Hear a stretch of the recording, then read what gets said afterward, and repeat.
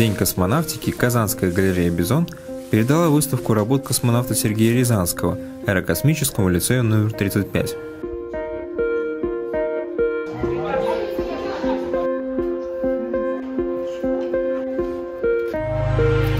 Выставка Рязанского «Удивительная Земля» прошла в галерее «Бизон» летом прошлого года. Фотографии Земли, сделанные из космоса, позволяют взглянуть на нашу планету в прямом смысле со стороны. Некоторые кадры сняты так близко, что можно увидеть шашечные поля Бразилии, ледяные красоты вулкана Эмикуси и зазеркалье аргентинских гор. Среди экспонатов есть и фотографии Казани и Москвы.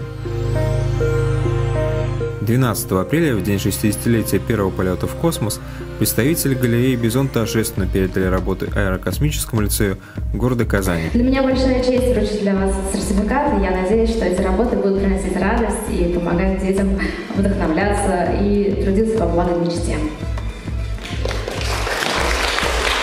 Спасибо огромное. Теперь работы будут выставлены на четвертом этаже образовательного центра «Галактика» в лицее номер 35. Выставка Сергея Рязанского – это изобилие цветов. А, мне выставка очень понравилась, особенно понравилась вот эта вот картина, так как а, из космоса она очень красиво выглядит. Мне очень понравилось, потому что ну, необычные фотографии. Я очень рад, то, что такие красивые картины оказались прямо здесь. А, они могли оказаться в другой школе, но они оказались именно здесь. Мне это очень нравится.